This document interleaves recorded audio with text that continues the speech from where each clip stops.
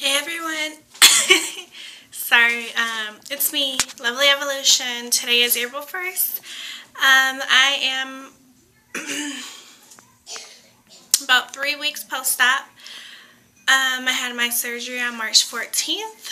Um, as far as losing weight, I lost probably about 40 pounds everyone's sick in my family, so my throat sounds kind of raspy. But, um, yeah, I mean, I can't believe that I had the surgery. Every time that I think about it, there's some days I'm like, well, not days at a time, but like moments where I'm like, did I have the surgery? And then I touch down to where my incision sites are and I'm like, oh yeah, I did. Because it doesn't feel like, you know, just walking around, it doesn't feel like my stomach was removed.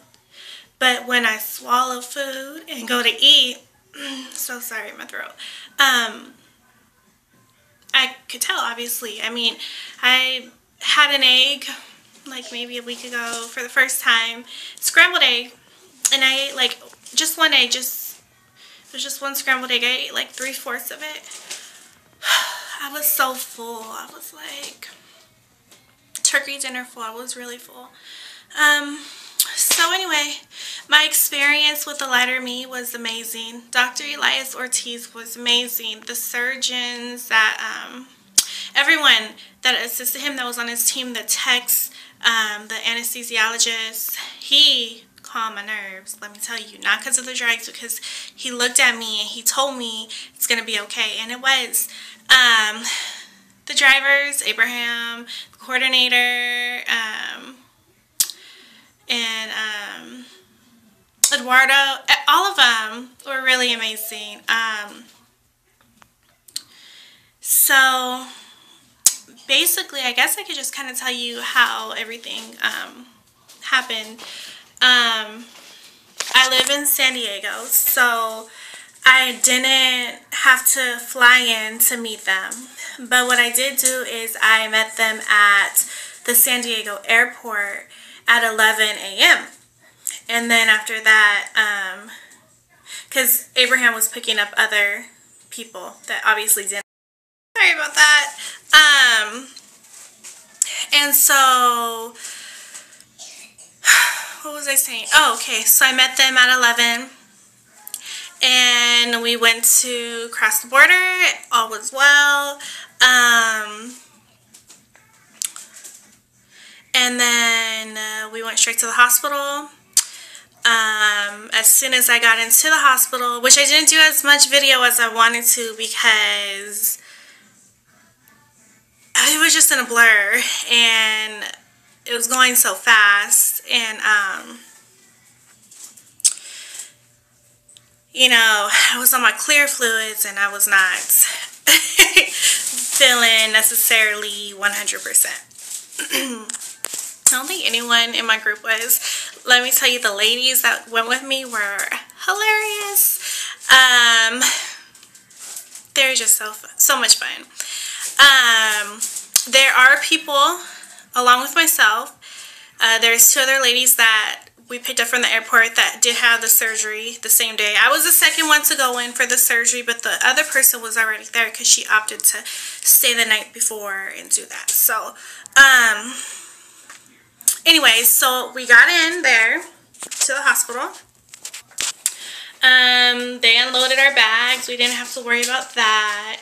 Um, my mother went with me, which was amazing because she pushed me to walk when I really didn't feel like walking because, you know, you go in there, you're like, yeah, I'm gonna walk, and I got this gas pain under control. No, I did not want to walk.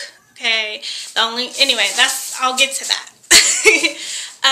um, so we got in there to, to Hospital Mi Doctor, which is in Tijuana, Mexico. Very close to the border. I could see where people line up for the border right outside my window. um, the cars, I mean. Um, we did a check-in. They took our passports, like our ID and stuff. Um, we got it back right away. They just wanted to, you know, um, check us in. Then right away we went to go do our lab work, like our blood work down um, stairs. Um, that went good. Um, I went straight into my room. Um, they had me fill out a form, uh, just an extra form, just saying that I'm getting the vertical sleeve gastrectomy, and they had me write it out, so it's me writing it out. Um, just vertical sleeve gastrectomy, that's it. Um, my arm's getting tired, and I really want to do this video, but because I haven't updated since pre-op. Um, they gave me a gown to wear they came in, they did an EKG. Now, the EKG that they did, I'm used to, you know, the little sticky things, you know, that they put on your body, on your chest, your arm, your leg. Okay, so they have these metal clamps, and they clamped my wrist, and they clamped my um, ankles. And that's how they did the EKG, and the EKG turned out fine. So I want to say, um, within about two hours, I was getting ready for the surgery and I was able to talk to all of the surgical team. Like I said before, the anesthesiologist, really, he was like, what's wrong? I'm like, I'm nervous as heck. Just because I've never been put under. And he was like, don't worry. Um, he really calmed me down, so that was good. Um, they gave me the gown and the compression socks, which was so hard to put on my legs. Um, um, and then the wheelchair came and got me. And it just happened so fast. I mean, we did all that stuff that I just told you within a matter of hour and a half to two hours, maybe less, I want to say. And um, yes, I did uh, speak to the surgeon, to Dr. Elias Ortiz before he came, uh, before you know he did the surgery. Um, he did tell me he was like, "Don't worry, it's normal to have gas pain." So I'm like, okay, you know, all right. I have my Gas-X strips, you know, on hand, ready for that. So I thought I was prepared for that much. Um, I get on the table and the anesthesiologist and his tech pulled the arms up to the table. And um, he was like if you feel like sleeping go to sleep. Not don't worry about it. You're good. And I remember after that just waking up on the table. So nothing over my face you know, that um, to put me to sleep. I think it was all through the IV. And um, I woke up, okay, I was yelling. There's like a little overpass where you could, um, if you're walking by, it's like a little window and you can kind of see in. And my mom said that I look like a dang bulldog because I was like, I can't feel my chest. My chest hurts. I feel like something's on my chest. And the tech, he's so sweet, but he was like, it's okay. I'm like, no, I can't feel my chest because it was the gas pain. It was not the fact that 85% of my stomach is missing. It was the gas pain. Oh my gosh, that was the worst pain in my life. Well, no, it's not. There's, well, as far as where my chest is at, that was the worst pain. And um, then I remember just being in my room. So they must like, I must have been knocked out again or something like that. And then I ended up in my room. Um, they, every six hours, they gave me um, pain meds, um, stuff for anti-nausea, and um, they were giving me um, antibiotic, I believe. So, anyway, I was there for about sorry, um, two nights. Um, the first day, I gotta tell you, just because of that gas pain, I was like, what, what, why, why did I do this? Um, and I just say, it's just my chest that hurts, my stomach doesn't hurt, the stitches didn't hurt, nothing hurt in my abdominal area, nothing hurt where my stomach was at. Um, I had a drain in too. And, um, which was just like a long, the longest tube that you could imagine where my incisions were at to um, drain where the incisions were. Blood and liquid. Um, sorry y'all, my hair is irritating me. So, um, by day two, I was doing better. I was sipping on um, a little bit of water, a Gatorade, barely, doing the ice chips barely. Um, then we ended up going, I think on, I want to say the second day or the third day, I can't, anyway, I know I was at the hospital for two nights. Then we went to the Marriott. It was beautiful there. Um, we checked in and um, I feel like I sound hoarse, like a man, and that's so not. Anyway, and we checked in, um, and it was beautiful. Uh, they provided me with two tamarindo um, popsicles. At first I was against it, but then I realized that was the only thing I could tolerate, so I had like one maybe the whole time I was there which was two nights. Um, or actually, no, no, no, no, no. One night. Because I came back a night, a day early. Um, soup, they gave me chicken broth. I didn't eat it. Um, because I had so much chicken broth pre-op that I'm like, no, I don't want chicken broth. I didn't even like the word chicken broth. I'm that type of person where if it gets in my head, I'm not weak-minded, okay? It's just, if I don't like something, I can't. I don't want to hear the word. I don't want to deal with it. It's just gross. Um, anyway, so yeah, I mean, overall, my experience was good. I came back, um, oh, my head, Lord. I came back a day early to be with my three kids. All of them were sick and um, my recovery at home has not been it's been okay but the thing is is that I've been having to take care of all my kids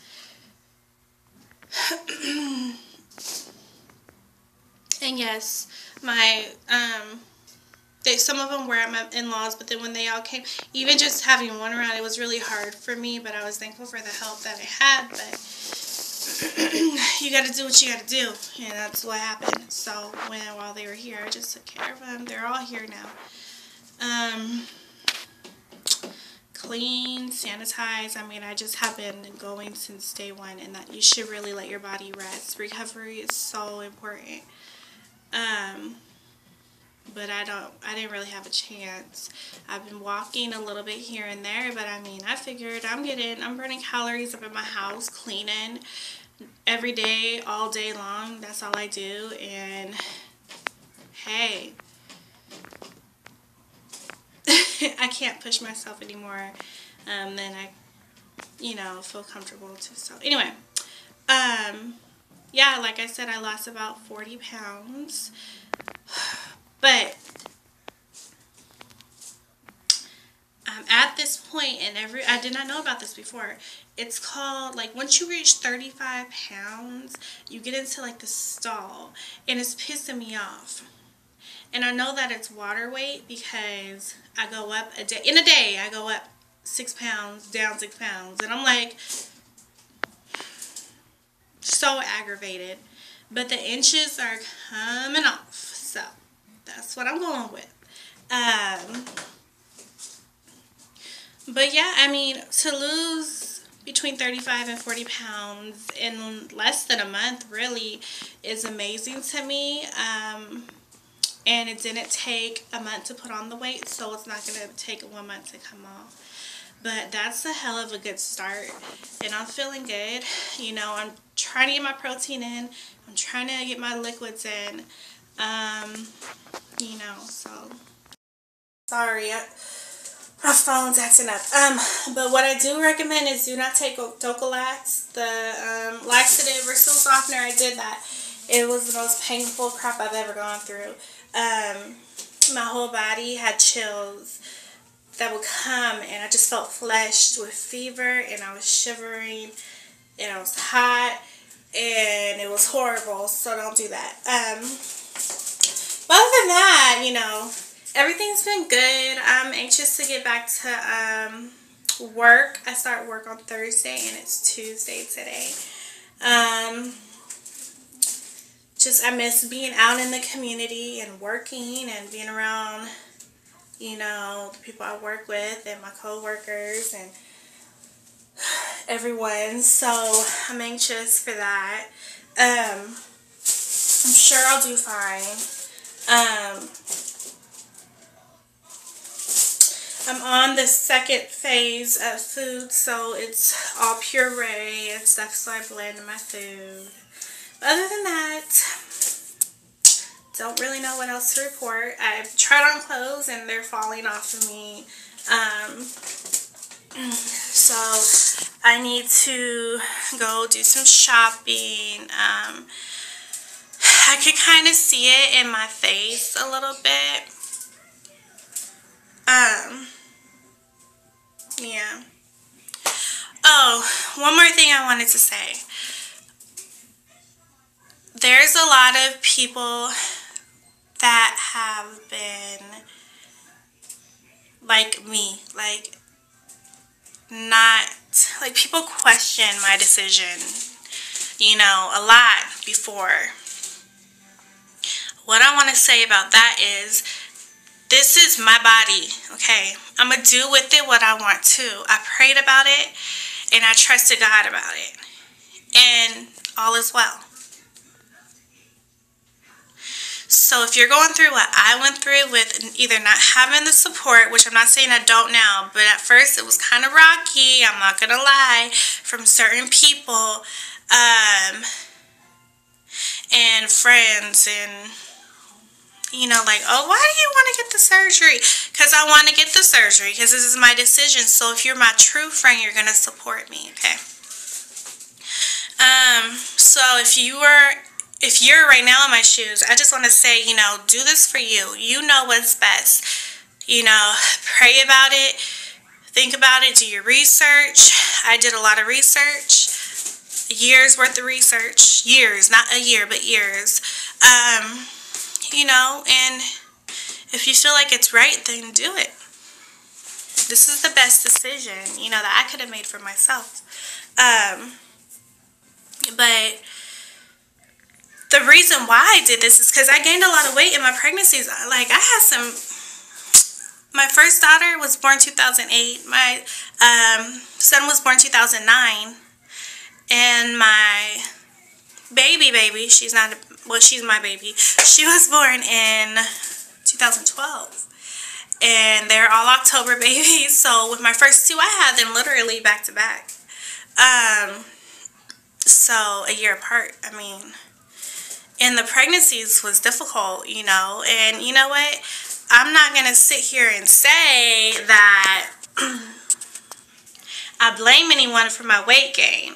But I will say you got to be careful with who you allow in your life because those people that love drama or love to see you down, those people who are just poison to your life and not help and just you know you know who i'm talking about like what type of people those people will bring you down and i was so like I, i'm not gonna lie i was in a depression to where i ate my i'm an emotional eater i'm not gonna lie and even when i wasn't eating like with my son i was sick my first trimester of being pregnant with him. So I was, I had really bad morning sickness, but I was throwing up.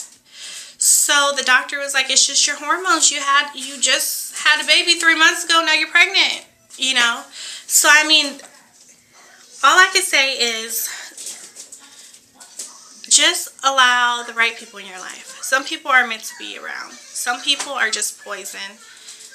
You know, if they bring you down, it's not worth it. It's not worth it.